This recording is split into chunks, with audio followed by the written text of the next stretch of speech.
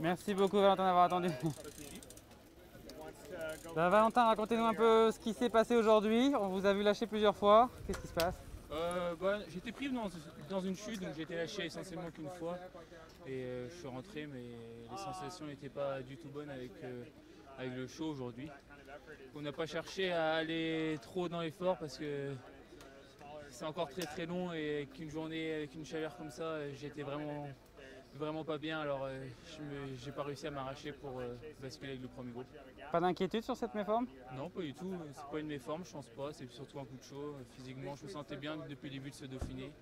Une journée un peu sans. euh, pas, euh, je pense pas que c'est une méforme parce qu'on était plusieurs dans ce cas-là aujourd'hui. Il a fait vraiment très très chaud. On cherchait à s'abriter.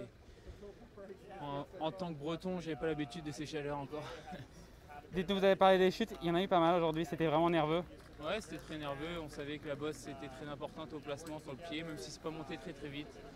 On a vu que ça avait bien temporisé, ça va attaquer que sur le haut, donc euh, euh, tout le monde était un peu stressé par cette approche de difficulté pour que les leaders des équipes perdent pas de temps. C'était l'objectif de toutes les équipes, alors c'était forcément tendu dans le peloton, il y a eu beaucoup de chutes, mais euh, j'espère qu'il n'y a pas eu de choses trop trop graves pour les coureurs. On a vu des échappés aller au bout sur ce Dauphiné. Guérin Thomas, euh, je ne sais pas si vous savez, est allé chercher la victoire en solo en finisseur.